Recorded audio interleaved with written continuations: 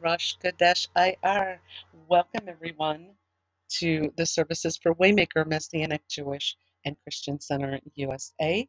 We are bringing in the new Hebrew calendar month, which begins tomorrow. Uh, it is the month of Iyar. I Y A R. We welcome everyone that is here with us, and for those who will listen later on the archives, we pray that this is a blessing for each and every one of you. Now, as we know, um, Nisan was the first month of the biblical calendar year, but the seventh month of the civil calendar year, which um, the civil calendar year begins in the fall uh, with the month of Tishri, which usually falls uh, usually falls in September um, for the most part. So Iyar would be the second month of the biblical calendar year, but the eighth month of the civil year. So we will get into all of that and much more um, as we begin our services this evening. So we what we're going to discuss is the month of Iyar, the holidays that that are in in this month, uh, the historical dates that occurred in this month, and then also mention um, all the Shabbats that are in this month. And we will do our scripture readings and then open it up for an altar call. Uh, prepare for uh, coming to the table of the Lord, and then we will take Holy Communion together and then close out the service for today. So before we do that, I would like to open this with the opening prayer and invite the Holy Spirit in to lead us and guide us.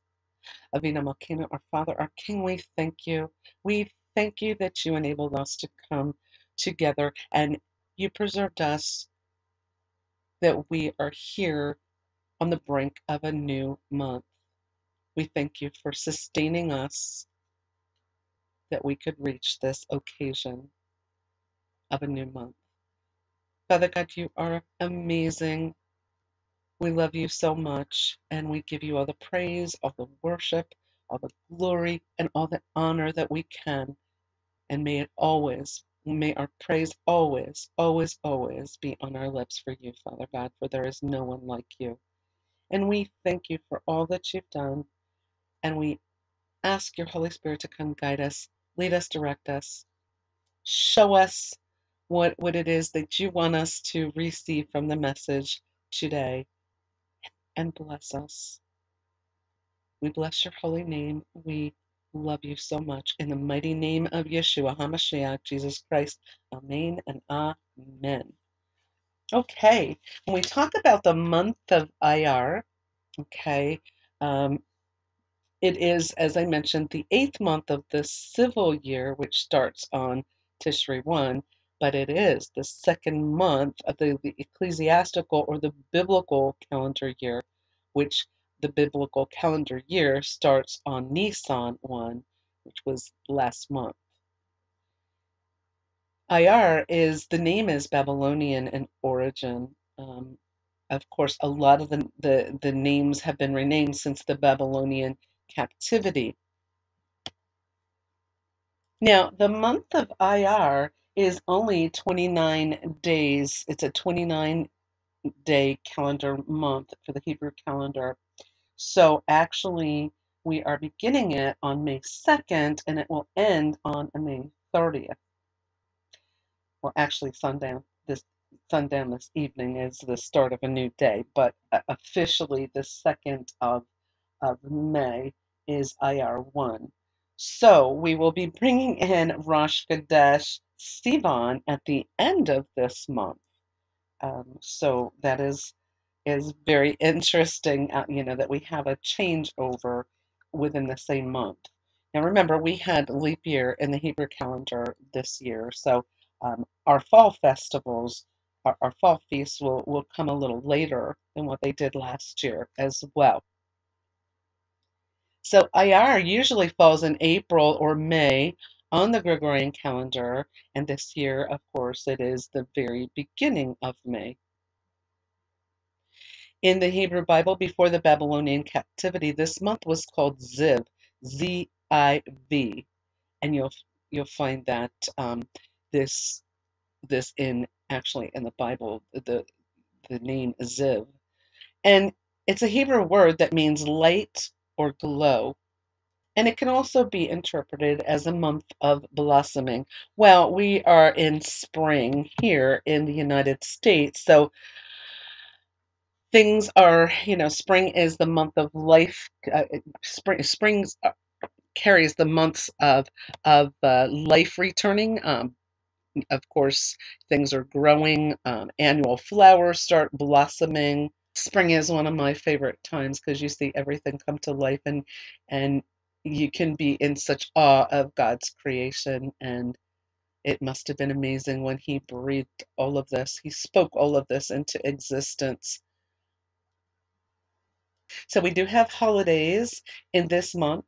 We have um, Pesach Sheni, which uh, of course is the second Passover, and we'll talk briefly about this and when it comes to be the uh, the 15th of May, which is Iyar 14, and that is when that occurs we will talk a little bit more about this.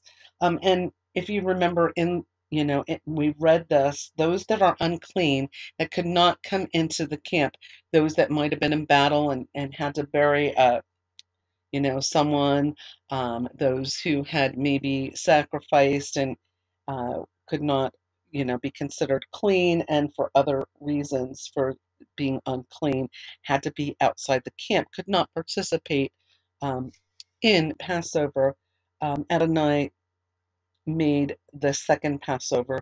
It's kind of the second chance. Um, so we, we will get into that um, later this month. So I just wanted to mention that is a holiday.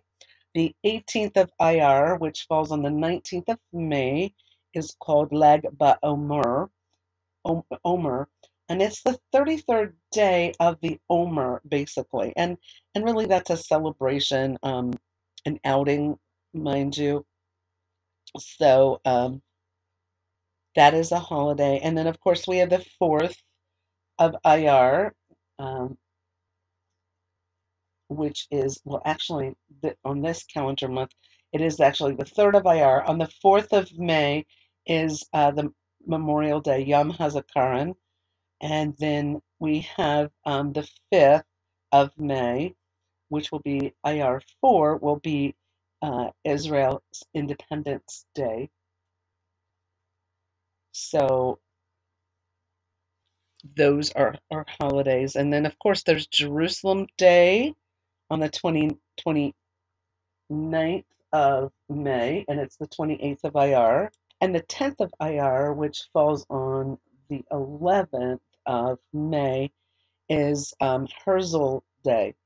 And of course, on May 30th, we have uh, our American Memorial Day as well. So we've got both the Israeli and the American, the United States' Memorial Day in the same month. Uh, ours is at the end of the month, and Israel is at the beginning of the month. There's a lot of historical dates here. Um, this is uh, not biblical. Some of them are not biblical dates. I will let you know when it is. Biblical dates. Um, the first of Iyar in 1788 was the death of Rabbi Menachem Mendel of Vit, Vit, Vitebsk, and the second Iyar of Iyar, um, 1834, is the birth of Rabbi Maharash, the fourth Chabad Rebbe, and the fourth of Iyar, 1165. Um, Maimonides survives a fierce storm at sea while fleeing from the Islamic persecution in Fez. From then on, he observed the day as a personal day of fasting and prayer. 1948, very important day, uh, Israeli Declaration of Independence.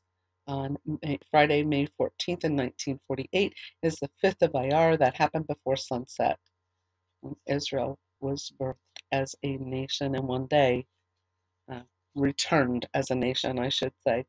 The 7th of Iyar in 498 BC. Now, this is biblical history.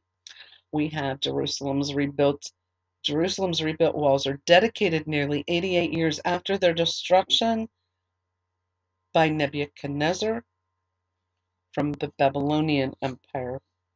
And the 8th of Iyar in 1096, the Rhineland massacres of the First Crusade begins On their way to the Holy Land, so small bands of knights and peasants, along with local inhabitants, the People's Crusade attacked many Jewish communities, most notably in the Rhineland of Worms and Mainz. Now, this again is in Germany. This is long before the the the 19, you know, the 20th century Holocaust. This is in 1096. There was a lot of problems in Europe um, where the land where our ancestors were scattered to. On Shabbat 8th of Iyar, the Jews of Spire, Speyer were also attacked. However, most of them were allowed refuge in the bishop's castle and neighboring towns such as Heidelberg. And then the 10th of Iyar is the death of Eli, the high priest, and his two sons, um, 2070 and 2071 BC. So, um, and the 10th of Iyar in 1103 AD was the death of Isaac Alfasi, and the 10th of Iyar in 1860, the birth of Theodore Herzl, and the 11th of Iyar in 1510, 1500 Jewish books were confiscated in the free city of Frankfurt. Another attack in Germany at the instigation of an apostate. Um, in 11 Iyar in 1881, pogroms in Wasilkow and Konotop as Jews are blamed for the assassination of Tsar Alexander II of the Russian Empire, who was assassinated in a suicide attack attacked by the Catholic Russified Pole Ignacy Hernowicki. Riots continued for three years across all of Russia. And in 11 Iyar 1948, the battle at Degania the Israeli army defeated the advancing Syrian armed forces following the shelling at the entrance of Degania, uh, which began at sunrise and lasted nine hours. It is considered the first Israeli victory of the 1948 Arab-Israeli War. 13 of Iyar 1427, the Jews were expelled from Bern, Switzerland. And of course, 14 Iyar, we have the second Passover, 1312 BC, an additional opportunity. This is when it was instituted, an additional opportunity to offer the Paschal sacrifice for individuals who were impure on the main Passover holiday, and this is found in the book of Numbers, chapter 9. Also, on the same date in the second century BC, the death of Rabbi Meir. And then we have 1605, Jews of, uh, that had to be AD, I'm sorry, Jews of Byzance, part of Austrian Bohemia, were massacred by Stefan Buksky, Prince of Transylvania. And in the 14th of Iyar, 1933, Nazi burned thousands of books written by Jews. And the 14th of Iyar, 1960, Adolf Eichmann was captured in Buenos Aires. Then we go to the 15th of Iyar, 1727. A lot of more, you know, uh, modern day history, uh, for the most part, eh, you know, after AD history, I should say, not BC. Um, the Jews were expelled from Ukraine by Empress Catherine the, the, the First a few months prior to her death. In the 15th of Iyar, 1883, pogrom in Rostov-on-Don with the encouragement of local of, of, local Russian officials. And the 15th of Iyar in 1939, the Nuremberg laws depriving Jews the right citizenships were passed by the government of Nazi Germany in 1935. and 1939, on the 16th of Iyar, the laws went into effect in Nazi allied Hungary. In 1945, the same date, Dachau concentration camp was liberated by the 45th Infantry Division of the United States Army. Woohoo! And in seven, the 17 Iyar in 66 AD, Jews, Jews attack and defeat the Roman garrison in Jerusalem following the theft of silver from the Holy Temple. And in 17 Iyar 1793, the death of Noda B. Yehuda, and then also on the same date in 1945, the death of Adolf Hitler. The 18th of Iyar, um, 120 AD, a plague which killed 24,000 of Rabbi Akiva's disciples ceases. And also on the 18th, the second, second century AD, the death of Shimon bar Yochai. On the day of his death, Iyar 18, the 33rd day of the Omer account, Rabbi Shimon gathered his disciples and revealed many of the deepest secrets of the divine wisdom and instructed them to mark the date as the day of my joy. Um, in 1573, in the same date, the death of Moses Isserles, who is regarded as the definitive halachic authority for Ashkenazi, Ashkenazi Jews. Um, and then we have on the same date in 1690, indigent Jews acquitted of blood libel, avoiding the danger of the decree to destroy their synagogue, were, were they to be found guilty. Uh, the local Jews celebrated this day as a local Purim celebration day of Thanksgiving. That same date, there's a lot going on here. Uh, 1948, Israel Defense Forces were created. This is when the IDF was birthed on the 18th of Iyar.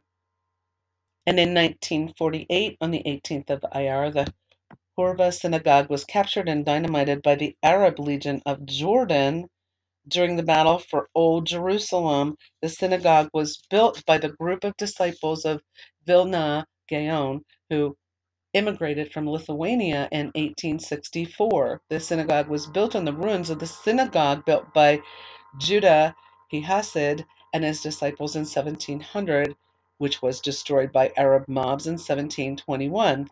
It was therefore named Hurvat Rabbi Judah HaHasid, the ruins of Rabbi Judah the Hasid, or simply the Hurva, the ruin.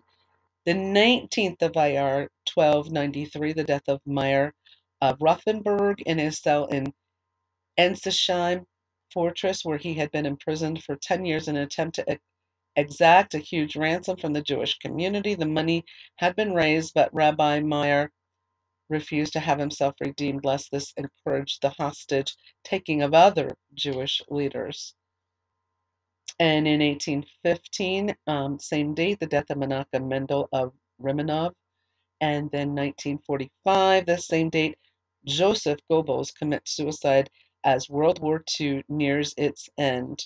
So now we move to that all, this this all happened on the 20th of Iyar, um, this being the year 1312. So this is uh, this is biblical.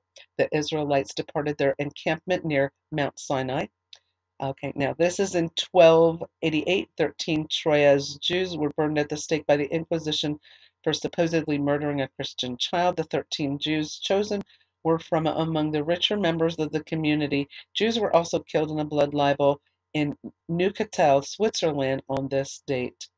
In 1637, Venetian Jews were forbidden the right to practice law or to act as advocates in the courts of the Republic of Venice. 1939, Mount Scopus Hospital opened on Mount Scopus, Jerusalem. The hospital, designed by renowned Bauhaus architect Eric Mendelsohn, opened as a modern 300 bed academic medical facility. In 1942, all pregnant women in Kovno ghetto were sentenced to death by the Nazis. So there's a lot of sad history here.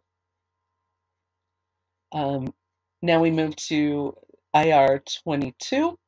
In 1731, Jewish books begin to be searched for and confiscated by Giovanni Antonio Costanz Costanzi, the Vatican librarian and author of a catalog of the Vatican's Hebrew manuscripts in all the Jewish quarters throughout the papal, the, the papal states. More confiscations continued over the next 20 years. So that was already in 1731.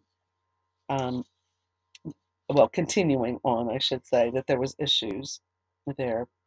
Um, in 1942, uh, I'm sorry, 1944, two months after the Nazi occupation of Hungary, Nazis began deportation of Hungarian Jews to Auschwitz concentration camp, and Adolf Eichmann personally oversaw the following day the start of the extermination process. Eight days later, an estimated 100,000 had been murdered. So then we move to the 23rd of Iyar. In 1096, the massacre of 800 Jews in Worms, Germany. This day was observed as a day of communal fasting in worms for centuries to come. In okay, the 24th of Iyar 1945, Nazi Germany surrenders to Allied forces. So now we're going to go to the 25th of Iyar um, in 1096.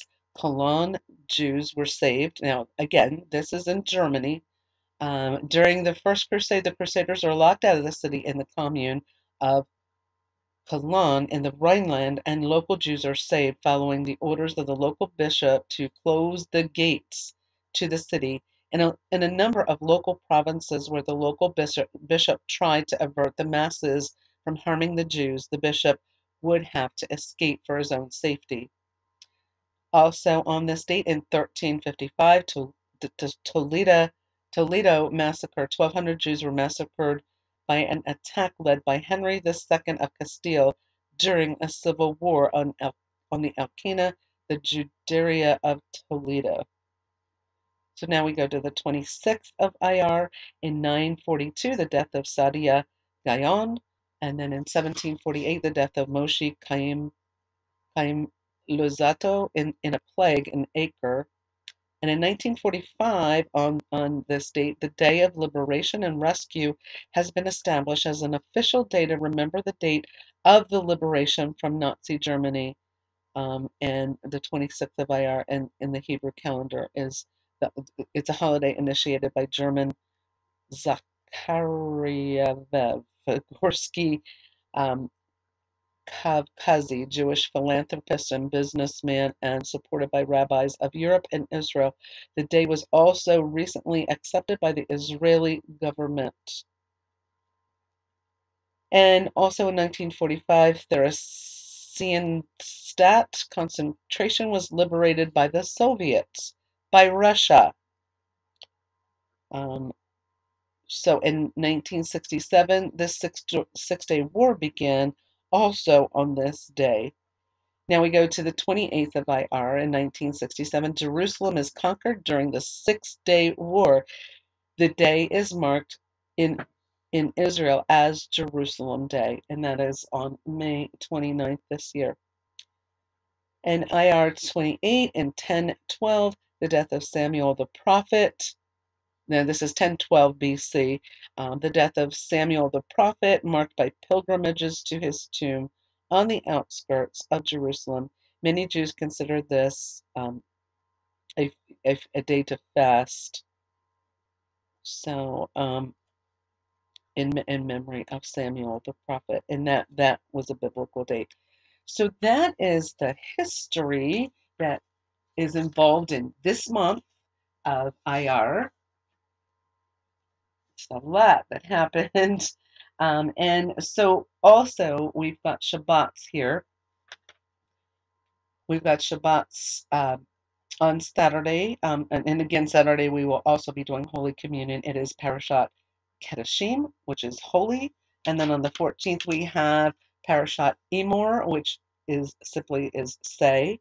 And then on the 21st, we have Parashat Behar um, on Mount Sinai, or um, some will just say on the Mount, and Parashat Bechukotai um, in my statutes. So there are four Shabbats this month. And of course, um, we have the Bible studies also to accompany them as well. And like I said, at the end of the month, we will also be having um, Rosh Chodesh Sivan begin. Uh, that will begin on May 31st. And that is the end of the history piece and, and also what's going on in the month of Iyar. We are going to now turn it to our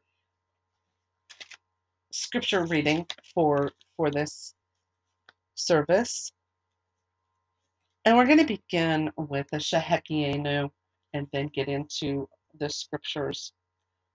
Baruch atah Adonai Eloheinu melech haolam shehecheyanu vekimanu vehegianu lazman hazeh.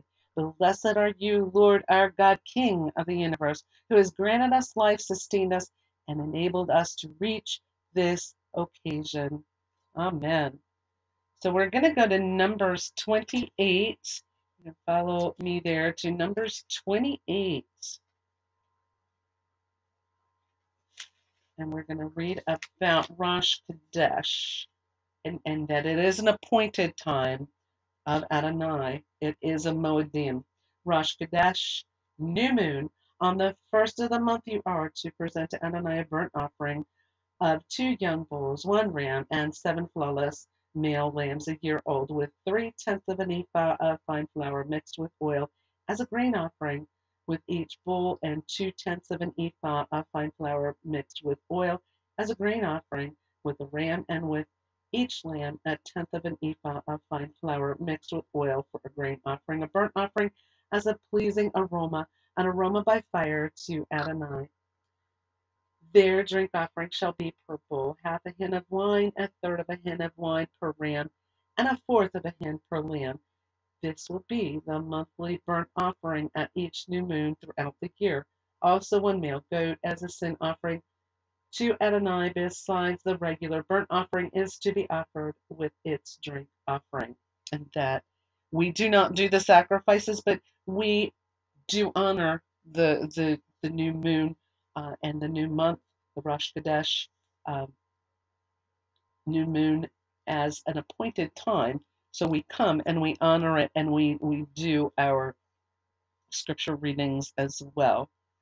So we're going to go also now to Psalm 81 before we read the Hallel, which is, is Psalm 113 and 118.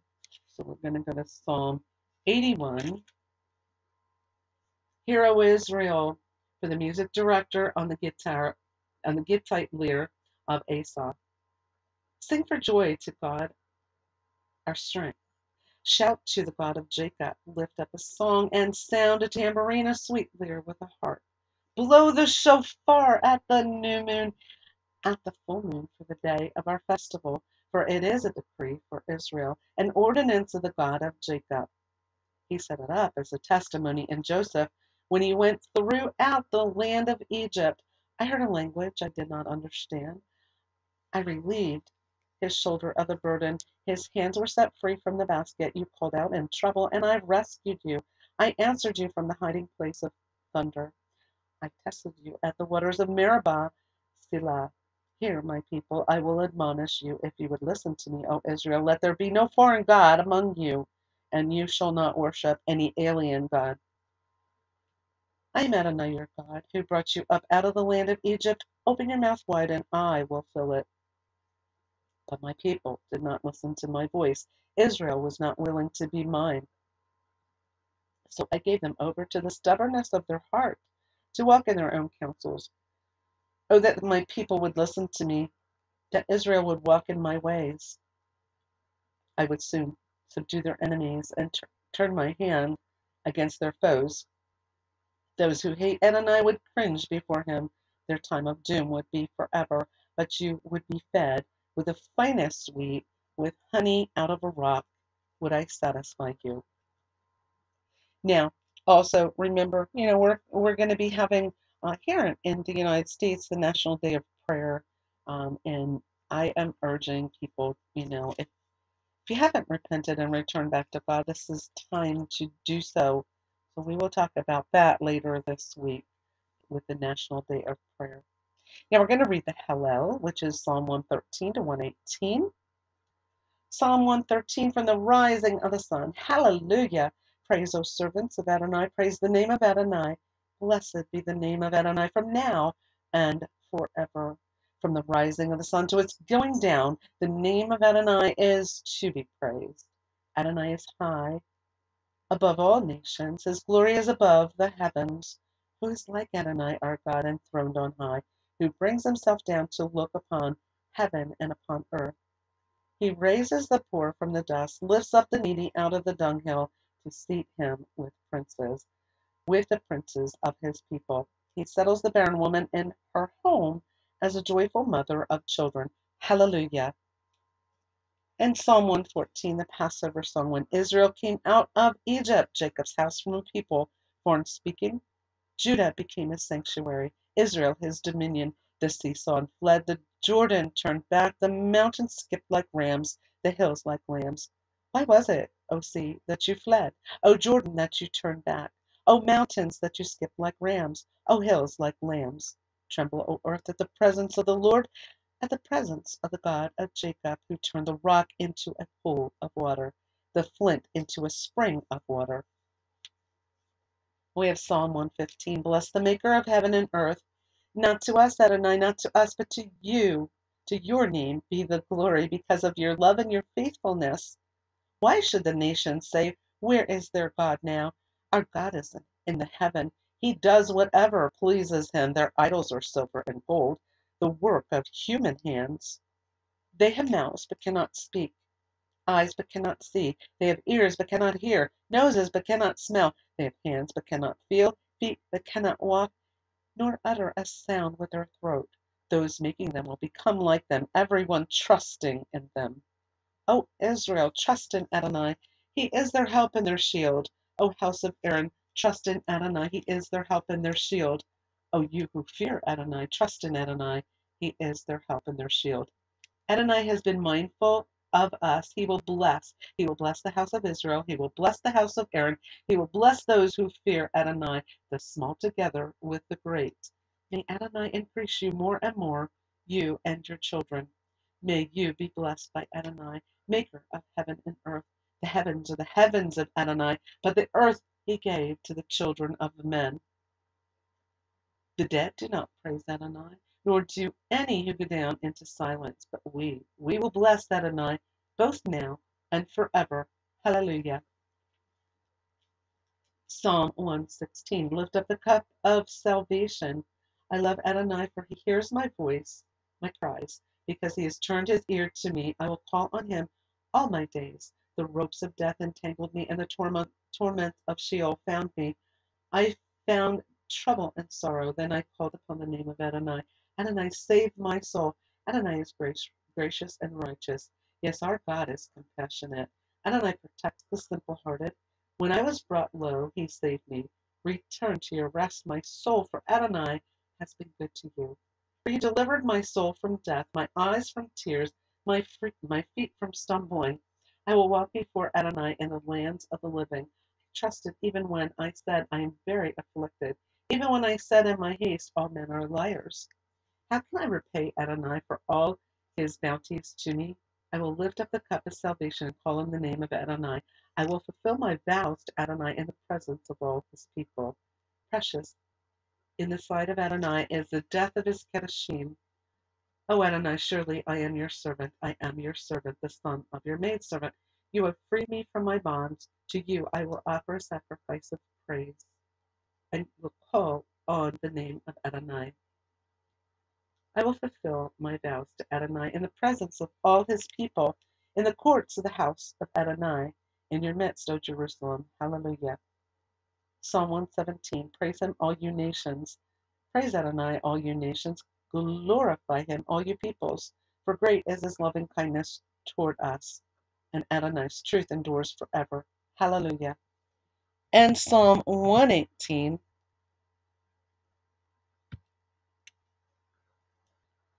His chesed endures forever, and that can be his loving kindness or his mercy. Praise Adonai, for he is good, for his loving kindness endures forever. Oh, let Israel say, for his loving kindness endures forever. Oh, let Israel say, for his loving kindness endures forever. Oh, let the house of Aaron say, for his loving kindness endures forever. Oh, let those who fear Adonai say, for his loving kindness endures forever. Out of a tight place I called on Adonai. Adonai answered me with a spacious place. Adonai is for me. I will not fear. What can man do to me? Adonai is for me as my helper. I will see the downfall of those who hate me. It is better to take refuge in Adonai than to trust in man. It is better to take refuge in Adonai than to trust in princes. All nations surrounded me. In the name of Adonai, I cut them off. They surrounded me. Yes, all around me. In the name of Adonai, I cut them off. They swarmed around me like bees. They were extinguished like burning thorns.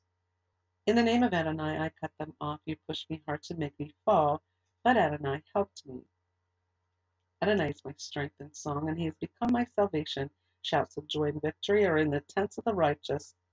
Adonai's right hand is mighty. Adonai's right hand is lifted high. Adonai's right hand is mighty.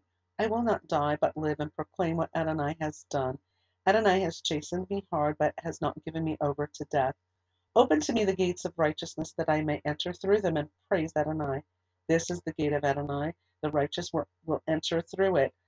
I give you thanks because you have answered me and have become my salvation. The stone that the builders rejected has become the capstone. It is from Adonai. It is mar- marvelous in our eyes. This is the day that Adonai has made. Let us rejoice and be glad in it. Hoshiana, please. Adonai, save now. We beseech you, Adonai, prosper us. Baruch Haba Shem Adonai, blessed is he who comes in the name of Adonai. We bless you from the house of Adonai. Adonai is God, and he has given us light join the festival with branches up to the horns of the altar. You are my God, and I praise you. You are my God, I exalt you. Praise Adonai, for he is good, for his loving kindness endures forever. And that is the end of our scripture reading for um, for this service. Um, we are going to close in prayer. I'm not sure if this uh, online recorder is recording or not. It appears to be, but it's stuck at, at 7 minutes and 24 seconds. So I am not sure what is going on with this. I am just keeping my, uh, I am just praying that uh, everything that I have done um, is there because I, I also record it. Um, and for those that listen much later or catch it like a week or so later, it's everything is there. Um, so we're going to close this in, in prayer and then we are going to open it to an altar call. We are going to prepare ourselves to take Holy Communion, and then, then also we will be taking communion and then closing out the service for today. Father God, we thank you. We thank you for this brand new month. We thank you that you've sustained us and allowed us to reach this occasion. We thank you so much for all that you've done, and we look forward to your blessings in this new month. We give you the honor, we give you the glory, and we give you the praise in the mighty name of Yeshua HaMashiach, Jesus Christ. Amen and Amen. Chodesh Tov. Uh, so uh, we are going to uh, open up to the altar call. Yeshua is his Hebrew name, uh, and many of you call him Jesus. Same one and the same. Yeshua is the Hebrew name, and actually his Hebrew Hebrew name means salvation. We're going to talk about salvation here. We're going to open this up to the altar call. Salvation can only be achieved through the Lord Jesus Christ, through Yeshua. Uh, salvation is, is deliverance from sin and their consequences, and our Lord took all the sins of the world with him when he laid down his life on the cross so that the world could be redeemed of sin forever. You cannot get to heaven on your own merit, on anything that you can do. Um, your family can't pray you into heaven. You can't buy your way into heaven. There is nothing that you can do. Jesus said, I am the way, the truth, and the life. No one will come to the Father but by me. And he also explains to Nicodemus in the Gospel of John, chapter 3, um, that you must be born again, born of the Spirit and water to enter the kingdom of heaven. And there, he also said you must be as little children to enter the kingdom of heaven. So we are children of God that are born again and saved. And you can be too if you have not ever uh, received Yeshua as your Lord and Savior. You can be born again. You can be born into the family of God. He loves you. He died for you. The world will tell you there's many paths to get to heaven. And that's a bold-faced lie. You know, the devil the, the devil has been around for a long, long time messing with people and creating all these false beliefs and and these fables and, and fantasies that actually look really cool and great, but actually they amount to nothing but lies. Yeshua said, There will be many on the broad path that leads to death and destruction, but the narrow path that you need to be on um, is keeping your eyes focused on Yeshua. Yeshua is the Messiah. He's the only Messiah. He's the Savior. He's the Lamb of God that took away the sin of the world. And he did it willingly. He did not have to leave heaven, be born um, into a body, um, and go through everything that he went through. But he does know because he lived and walked on this earth what temptation is, because the devil tempted him as well. However, he is the Word became flesh, so he knew um, how to deal with the evil one and to put him in his place and send him off. He came with a mission, and that mission was prophesied in Genesis 3:15 when um, this is after Adam and Eve had sinned and brought sin into the earth. Prior to that, they had they had communion with God every day, and they were in their glorified body. Um, God warned them that they could eat of anything but the tree of uh, the tree of the knowledge of good and evil, and um, in the day that they did that, they would surely die. And indeed, they did. It was a spiritual death. They lost their glorified body. Suddenly, they realized they had no clothes. Well, they were clothed by the glory of God. They didn't need to. They were completely clothed by the glory of God. So God could not reside with them because they sinned. Because sin cannot stand before a holy God. Okay? Sin can never stand before a holy God, and sin separates us from our Creator. So there was a sacrificial system that was put into place to cover that sin.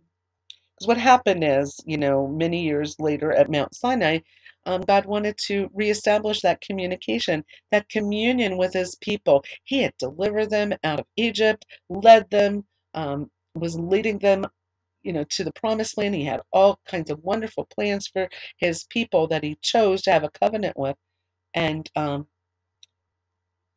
well they could not stand um, they could not stand the loud trumpeting the the shaking of the mountain the smoking of the mountain they were just so afraid they were going to die if they heard from god again okay so what they did was that well moses you already have a relationship you have the relationship he can tell you whatever he wants us to do and we will do it. So that is how the Torah, the law, came about. And the Torah was their schoolmaster until, until Yeshua came to, to once again um, try to reestablish all of this. But he was prophesied, um, he was prophesied to come. Um, they, uh, what happened was there was a sacrificial system that was put in place to cover sin, but that was uh, that was a lot of bloodshed that occurred. And you know, the blood is very sacred to all creation. You know, to animals and humans alike. It is the life force of of us and um, and to animals. So, uh, you know, for God to give up you know, his beloved animals to sacrifice for the sins of mankind was also a sacrifice. But God so loved the world that he gave his only begotten Son, that whosoever believes in him shall not perish, but have everlasting eternal life. God did not send his Son into the world to condemn the world, but through him the world could be saved those passages say a lot. Jesus, Yeshua, gave up his place. He emptied himself of his his God quality. He was he's the second of the Godhead. He emptied himself to come here to be born of a virgin, and the Ruach of, of God was breathed into her. He was not born of the same Adamic line as we are. The Adamic line is the the is born in the flesh and the sin. The flesh is corrupted and sin and and flesh will not inherit the kingdom of heaven. You must be born again in order to to get into heaven. And that is only through Yeshua. That is the only way. There is no other way. because he came, he died once for all sin, um, to the for the people that lived before him, the people that were living during his time, and for everyone that was born after his time. He took all of that on. He became cursed. He became that that cursed man on the tree. Uh, he was cursed of God. Anyone that is hanged on a tree is cursed. He took that all on for us. That is love that we can't even comprehend. But no, we can't do it ourselves. It doesn't matter, eh, eh, you know, where you are at this point. He will meet you where you are. Uh, come to him. You can be saved. You, he died for everyone. It doesn't matter what you did, where you've been. It's it's a matter of where are you going. God gave you free will to choose. Do you choose to come to the Lord? He loves you. No matter what you have done, He's died for that. He took that on Himself. He paid your sin debt in full. He paid all of our sin debts in full. Romans chapter 3, verse 23 says, For all have sinned and come short of the glory of God. And Romans chapter 5, verse 8 says, But God commanded his love toward us in that while we were yet sinners, Yeshua died for us.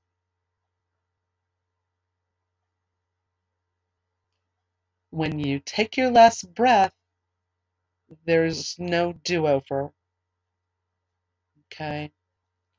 So choose this day whom you will serve, because there is a heaven and there is a hell, and the evil one will even have you believe there's all kinds of, of rhetoric out there that there's no hell, everybody goes to heaven. No, that's not true.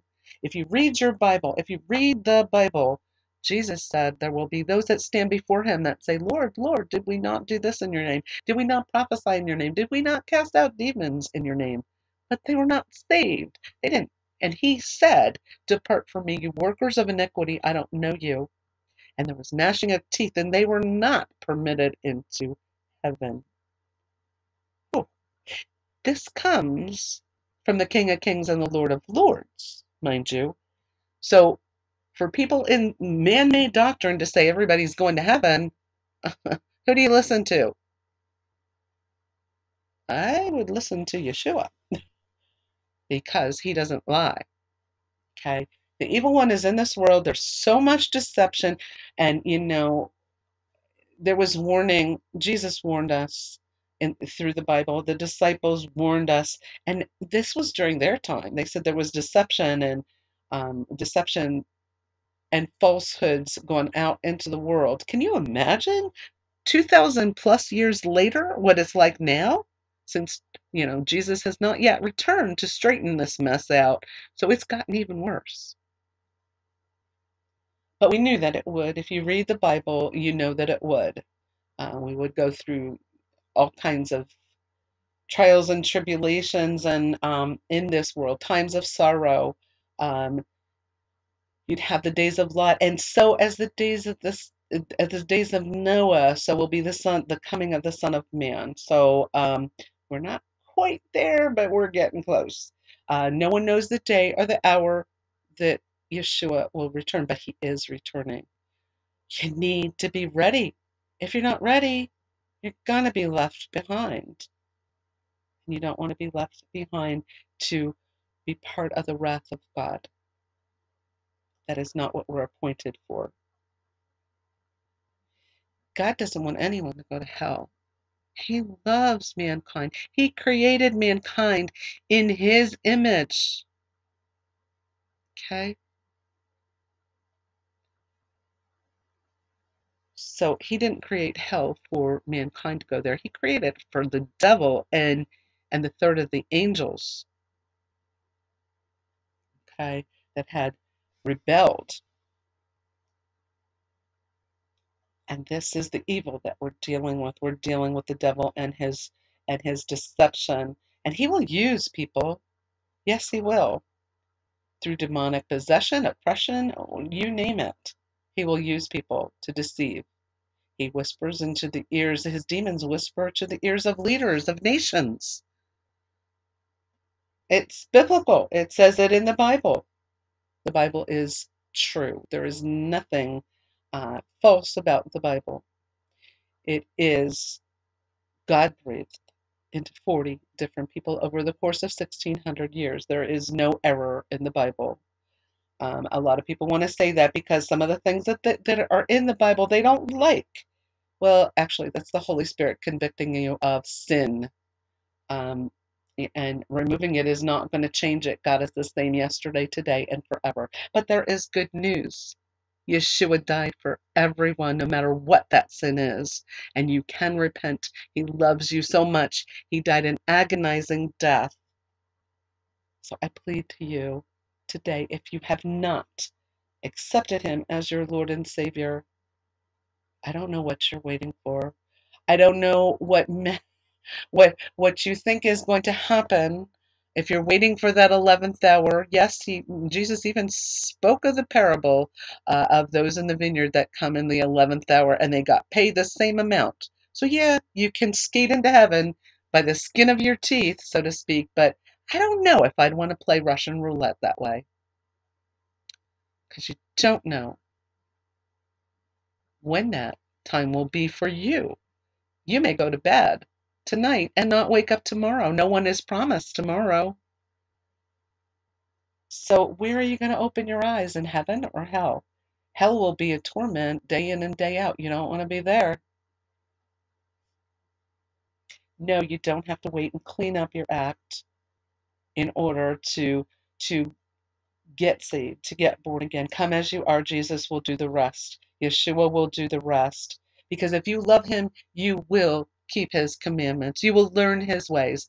Does that mean that everyone that is born again and saved is perfect? And no, not by our own rights. I mean, we are not. We are made righteous only through him. And do we mess up? Oh, there are times that we all mess up and we need to repent of our sins.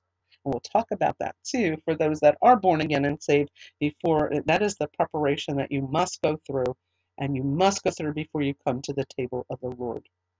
But for those who have not accepted Yeshua, not accepted Jesus as your Lord and Savior, this is a wonderful opportunity for you to say this prayer in a, in, in a few moments.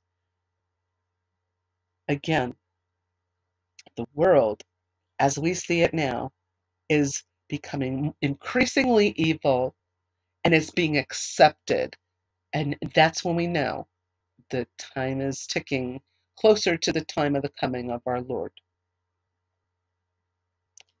You know, when evil is being called good and good is being called evil, we know this world is in trouble. I do believe there is a big harvest that is begun and it will continue absolutely and I believe the devil always fights fights us hard when something is is is about to be a breakthrough from from our father in heaven I mean, he, he hates this. He wants to take as many people. He hates humanity. So if you are serving the evil one, he hates you. Do you think he likes you? He hates you. He's been jealous of mankind since mankind was created. He wanted to be worshiped. He wanted to take over the throne of God. He got all prideful. He was also the praise and worship leader. He also guarded the throne of God. He was given he he was actually given a very high position. He was one of the most beautiful angels in heaven.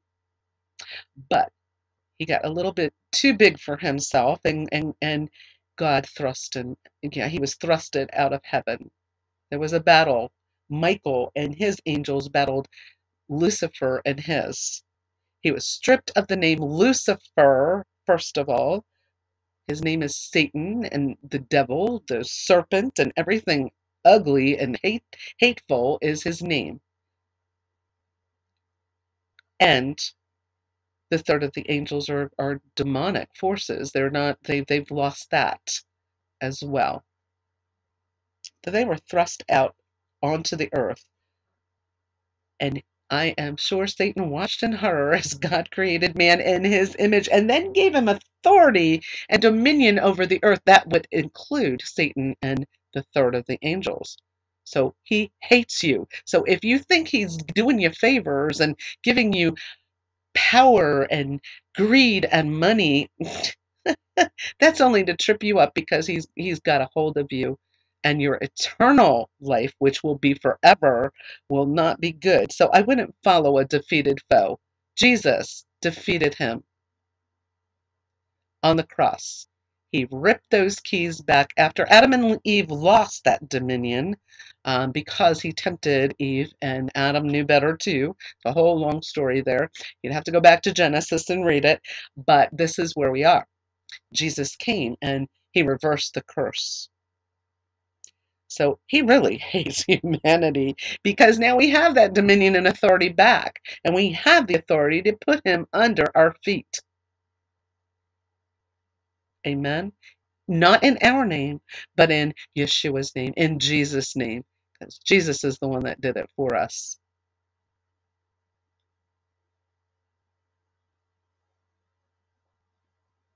First John chapter 1 verse 9 says if we confess our sins he is faithful and just to forgive our sins and to cleanse us from all unrighteousness. He is the only one the only one who can do that because he's the only one who died for all of us. Lots to think about, but I don't know that I, you know, there's, you know, there's, there should be really much thought on this. You know, good versus evil. Uh, here's where we are. Um, where do you want to spend eternity?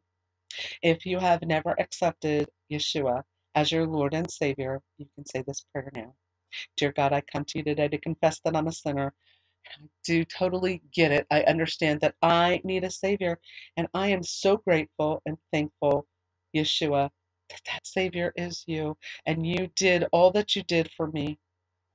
I thank you for all of that, that you paid my sin debt in full, so I did not have to do that. And I'm asking you to forgive me of my sin, to cleanse me from all unrighteousness, make me whole, make me clean, and help me to walk in your ways. I believe that you you came to earth. I came I believe that you died on a cross. I believe that you were buried. I believe you resurrected. I believe that you're sitting at the right hand of the Father. I believe that you're coming again to rule and reign. I believe you are the King of Kings and the Lord of Lords. And I declare you the Lord of my life.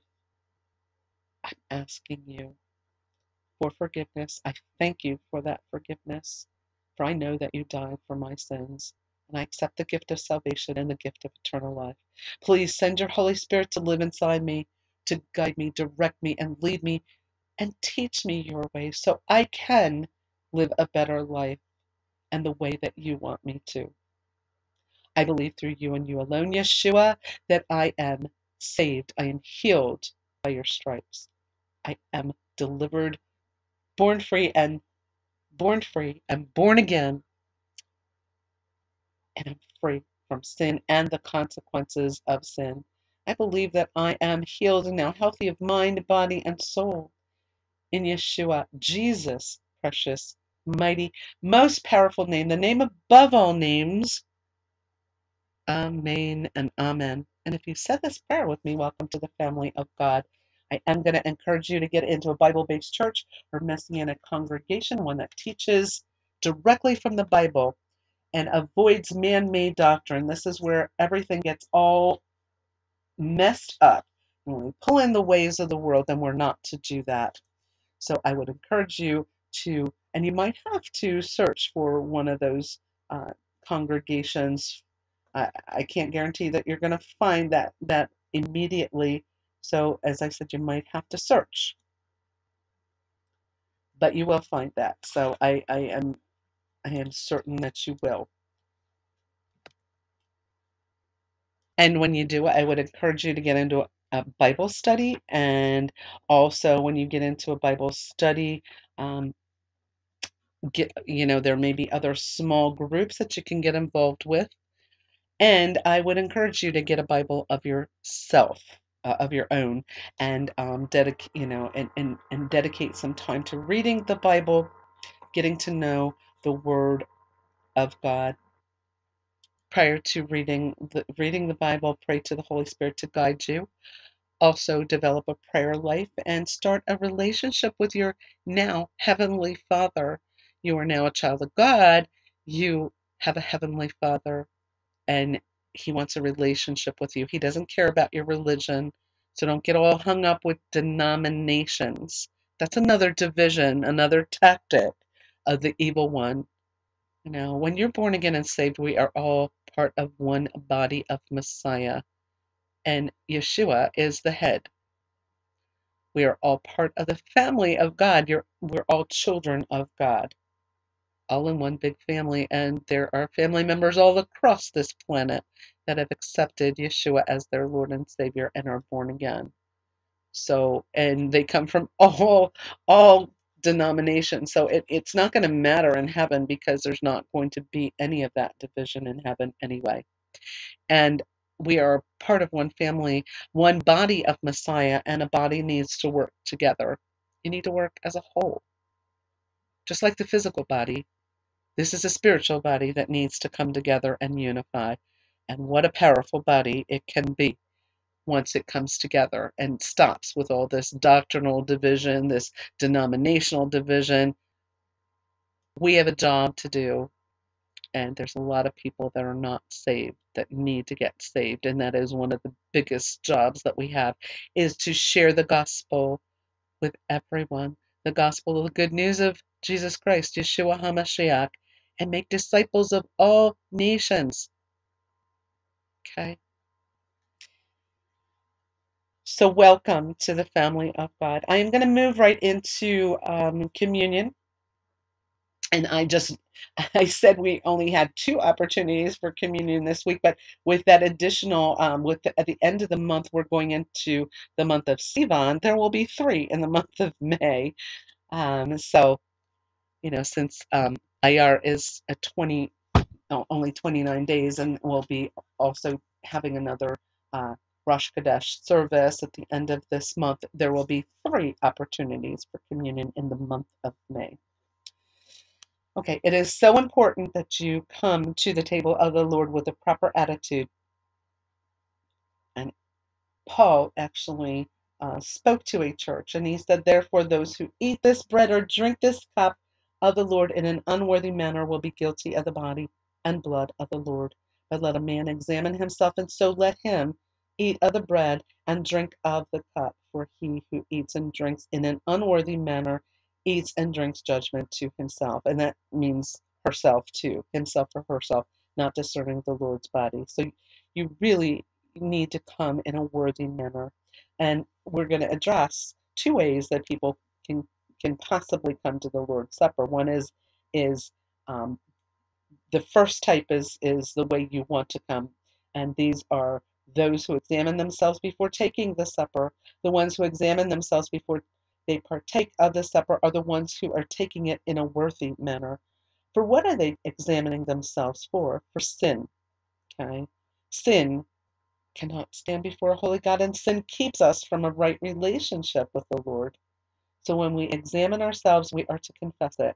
And God has promised to forgive us and restore us to a proper fellowship with Him, as we just read in 1 John chapter 1, verse 9. If we confess our sins, He is faithful and just to forgive our sins and to cleanse us from all unrighteousness.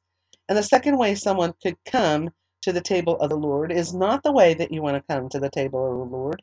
And it, it is those who are judged for not examining themselves and this group is made up of individuals in the church who choose to come to church flippantly, not taking seriously sin that may be plaguing their lives. They might be people who, who say they've accepted Yeshua as their Savior, but are living an uncommitted life. And there are those that we sometimes call Saturday or Sunday believers, and those outside the church call these people hypocrites because they're not committed to anything there's a faction i want to say there's a faction of of the population through through the generations that think um, you know going to church is exemplifying being a good person and they automatically by doing that they go to heaven.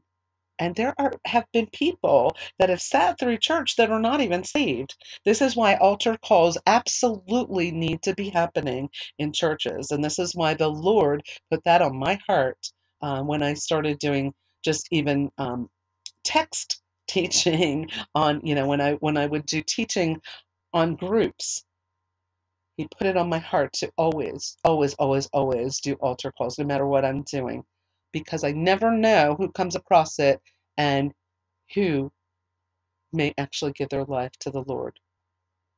And I pray that there's many that do. Um, I'll get to meet them in heaven one day. Um, if I don't meet them here, um, that is that is fine. Uh, but I always put that out there. And this is something that needs to come back in the church. You know, that altar call and the laying on of hands, the healing uh, piece that was taken out. It needs to come back. Okay, the group that comes to the table of the Lord um, and actually doesn't examine themselves, they these these are often people who, who just sit soak and sour in the pews, and they're usually ones who will find fault in everything, um, and also those who are really not involved in daily Bible reading or anything. Um, there are many things that separate them from God. And this type of person needs to reflect and repent before taking the Lord's Supper. This is very serious. He died for us. And to be this disrespectful uh, is, is not, there are consequences to that. The Lord will not tolerate this behavior. For this reason, many are weak and sick among you, and many sleep. For if we would judge ourselves, we would not be judged. But when we are judged, we are chastened by the Lord, that we may not be condemned with the world the world we are to be separate from. Amen. We become a new creation in Jesus, in Yeshua, when we are born again. He makes us new. Many become weak and sickly. This type of judgment is called chastening. Those individuals who have, who have accepted Yeshua as their Savior but are not living for the Lord will be judged by the Lord. If any of you are living a life of sin and not being chastened or disciplined, um, check yourself to be sure that you're a true believer. Are you really saved? And if not, you can go back. Um, if you're listening, you can go back and you can you can say that prayer and have that assurance. The Bible says, "For whom the Lord loves, He chastens and scourges every son whom He receives." We see many believers who call themselves Christians are in this condition before you involve yourself in the remember, remembrance of, of what Yeshua did for us, for his sacrifice that he gave, his life for us. Please repent, be restored and renewed. Many die, and the judgment is terminal. The Bible uses the term sleep when it talks about a believer's death, and here we find that many believers die prematurely because of sin in their life. So don't let it go that far. Cut sin off at its root, for Scripture tells us when desire has conceived, it gives birth to sin, and sin, when it is full grown, brings forth death. And that's in James chapter 1, verse 15. The Corinthian church has some real problems, and the church today has many of the same problems. There are believers who come to the Lord's table without examining their lives, and they are challenging God's word. They will lose. God is going to deal with with with this. And if you are here today and have not been examining your life for sin, I would challenge you today to examine your, your relationship with the Lord. Are you in fellowship with Him? Are you keeping short accounts with Him? If there is sin in your life, are you willing to confess it, turn from it, and follow the Lord more closely? Only you can make that decision. The Lord's Supper can be an experience of worship and worthiness, a time of repentance and remembrance, or it can be a time of disobedience, which will result in God's ultimate discipline. So let's spend some time in prayer and self examination before we partake in the Lord's Supper. Now, I'm going to pause this, um, and I'll tell you when I'm going to pause this, uh, when you can go collect the elements. And we're, we're going to talk about the elements of communion.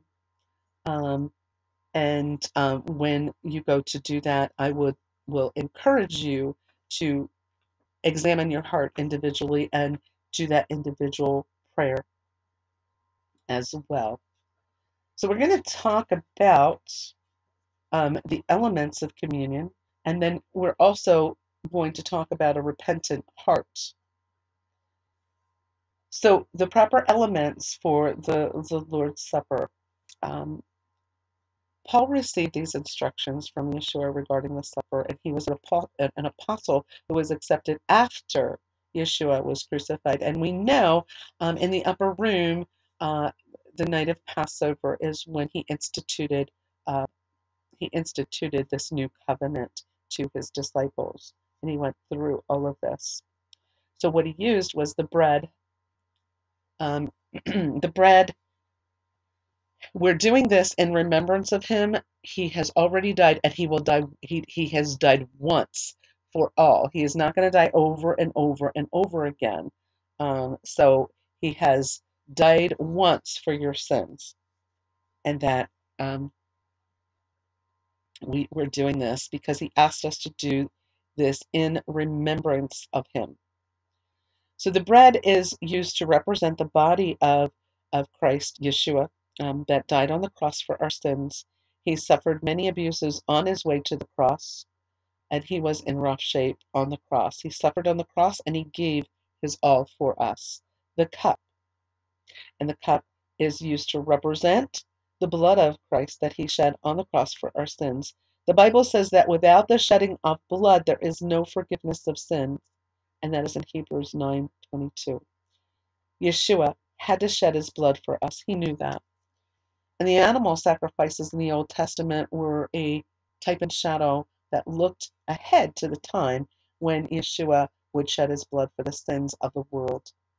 And this sacrifice was the final one needed to save the world. His blood was enough for all those who accept him as their personal Savior. And Paul tells us that celebrating with these elements reminds the people of the church of Yeshua's sacrifice, his life. We so often and so easily forget, we often complain about small sacrifices we must make, ignoring the incredible sacrifice of Yeshua's body and blood that was made for us. So the bread, I use matzah. It does not have leaven, and, and remember, leaven is is considered sin. You know, when we, we just got off of the feast of unleavened bread uh, recently, um, so it, it is indicative of sin. So, um, but now if you don't have unleavened bread, if you don't have matzah, that's okay. The Lord does know your heart um, also, uh, this is a representation. So, um, so even if you have a cracker, uh, that's that's okay. Um, the cup. You can use grape juice. You can use any kind of juice if that's if you don't have grape juice. The again, the Lord knows your heart. We're doing this in remembrance and reverence for what Yeshua did for us we need to be grateful and thankful that it wasn't us that had to pay that sin debt. And He did it for us. So He asked us to do this in remembrance of Him, and we will do this until He returns. Amen. Amen. Now, a repentant heart, we don't come to the table of the Lord with an attitude. Uh, remember, He died for us. We need to be reverent. And when we're asking Him to uh, forgive us of any sin, we need to be serious about that and truly repentant. I'm going to read you Psalm 51. Um, it is an example of a repentant heart. And this was King David. He was king. Um, David, as we know from, from youth, um, he communed with the Lord. He was the sweet psalmist of Israel. He communed with the Lord daily. He had full trust in the Lord, cried out to the Lord when King Saul was after him. Whenever he was in danger, he trusted explicitly in the Lord. But there was a time in David's life when he sinned greatly. He caught the eye of Bathsheba. And Bathsheba was a married woman. He was who was married to one of his very faithful and loyal soldiers, Uriah the Hittite. Well, Uriah was out off battling for David, and um, in the meantime, David actually slept with Beth Bathsheba. She became pregnant. Well, you know, um, during that time, if there was an adulterous situation, that there would have been a stoning as well. And this was the king. So he had sinned. He he. This was definitely a huge sin, um, and he sought to cover it up. So he pulled Uriah out of battle um, in hopes that he would go home and sleep with Bathsheba. There had been enough time that they could pass the child off as Uriah's. So he had gotten Uriah drunk, and well, what happened is Uriah did not go uh, home to Bathsheba. He stayed with the soldiers that were were back there, um, you know, around the palace because he was a loyal soldier and he didn't think it was fair that he should have these pleasures and he he stayed with the other soldiers. So, baffled by this, David didn't, you know, wanted to cover this up. So eh, he, he came up with another plan and he wrote orders for Uriah to be put in the heat of the battle where Uriah would be killed. And then he would turn around and marry Bathsheba and, you know, raise the child. Well, yes, that did happen. Uriah did die. But you know he didn't get away with it you know um, and this is this is word to the wicked out there. Do you, if you think you're going to do evil things and hide your evil uh, and and fool you may fool the world but you don't fool god. God sees everything. So god saw this and he sent nathan the prophet to to rebuke david and actually you know let him know that i know what you've done. And david became so anguished and, and he he never wanted to sin against God and realized that whoa he did a big one here. And he was so afraid that God was going to leave him. Uh, he felt like the bones like the bones his bones were crushed by all of this. But he also knew that he was a very rich man. He could give all of the sacrifices. He could do all of that but it would mean nothing to God. What was most important that that he was repentant he had a broken and contrite heart and was sorrowful and did not ever do this again. Okay? So I'm going to read this for you. Created me a clean heart, O God, to the choir master, a psalm of David when Nathan the prophet went to him after he had gone into Bathsheba. Now, this, this is from the English Standard Version. Have mercy on me, God, O God, according to your steadfast love, according to your abundant mercy, blot out my transgressions, wash me thoroughly from my iniquity, and cleanse me from my sin. For I know my transgressions, and my sin is ever before me. Against you only, you only have I sinned, and done what is evil in your sight, so that you may be justified in your words and blameless in your judgment. Behold, I was brought forth in iniquity, and in sin did my mother conceive me. Behold, you delight in truth in the inward being, and you teach me wisdom in the secret heart. Purge me with hyssop, and I shall be clean. Wash me, and I shall be whiter than snow. Let me hear joy and gladness. Let the bones that you have broken rejoice. Hide your face from my sins, and blot out all my iniquities. Create in me a clean heart, O God, and renew a right spirit within me. Cast me not away from your presence, and take me and take not your Holy Spirit from me. Restore to me the joy of your salvation and uphold me with a willing spirit. Then I will teach transgressors your ways, and sinners will return to you. Deliver me from blood guiltiness, O God, O God of my salvation, and my tongue will sing aloud of your righteousness. O Lord, open my lips, and my mouth will declare your praise. For you will not delight in sacrifice, or I would give it. You will not be pleased with a burnt offering. The sacrifices of God are a broken spirit, a broken and contrite heart. O God, you will not despise. Do good to Zion in your good pleasure. Build up the walls of Jerusalem. Then will you delight in right sacrifices and burnt offerings and whole burnt offerings. And then bulls will be offered on your altar. And that is a, an example of a contrite heart. So I'm going to pause it now for you to get um, the elements uh, for communion. And I'm going to suggest that you take this time with the Lord also before you come back, and then we will take it together. So I'm going to pause it now.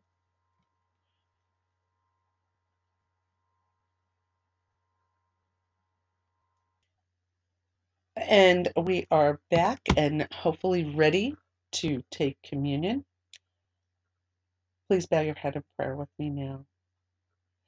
Avinu Malkeinu, our Father, our King, we come to this table as your guests, resting only in the worthiness of your Son. As we look upon the emblems of our Savior's death, may we remember why he died.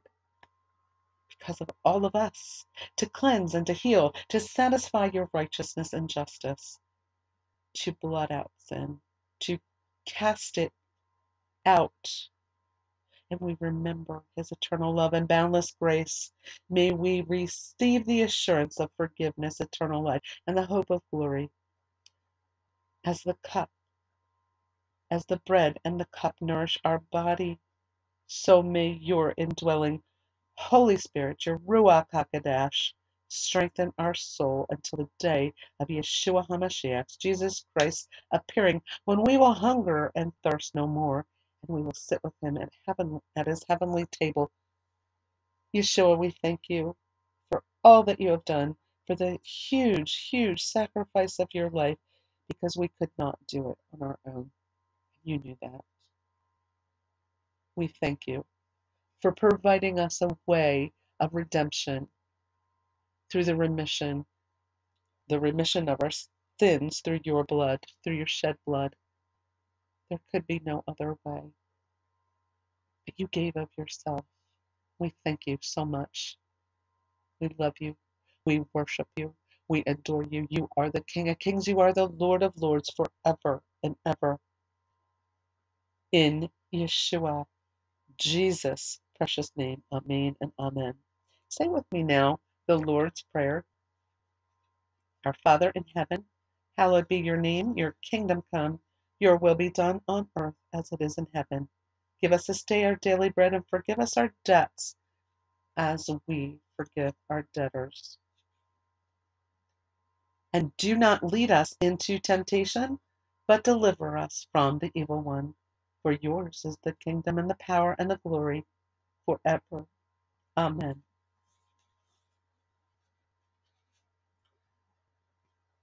The bread. Go ahead and take that bread and hold it in your hands.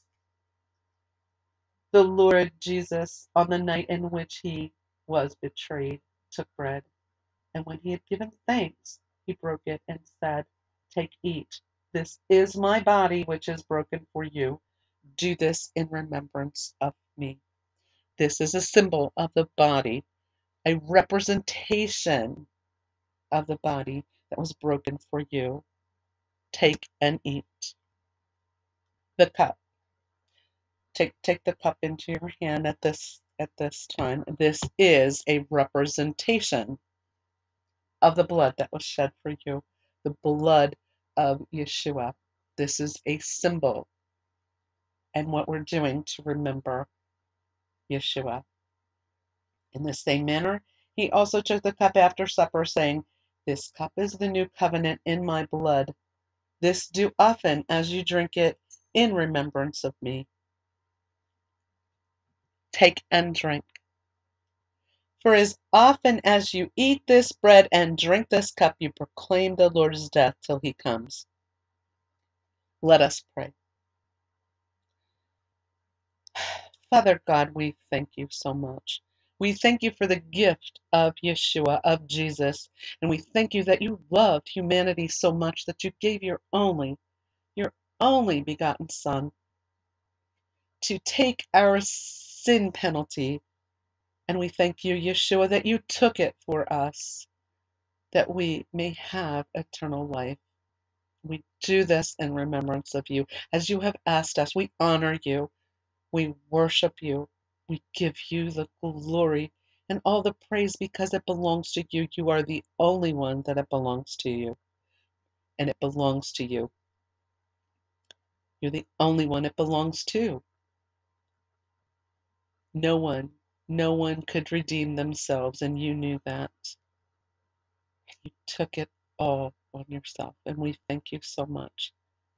We thank you we worship you forever and ever as our King of kings and our Lord of lords. In the mighty name, the name above all names, we proclaim Yeshua HaMashiach, Jesus Christ. Amen and Amen. And now may you walk in the light as he is in the light. May you have fellowship with one another, for the blood of Yeshua HaMashiach, Jesus Christ, his Son, cleanses us from all sin.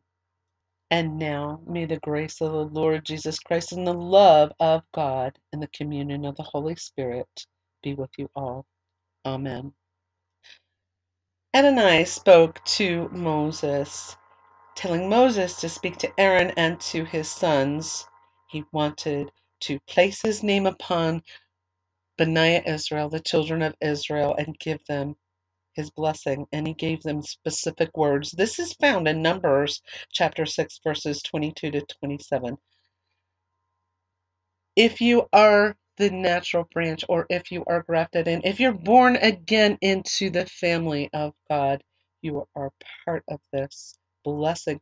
You are you are a child of God and when you are born again, he puts his name on you and seals you with his Holy Spirit. So this blessing is for each and every one of you. And I'm going to say it first in Hebrew and then I will say it in English.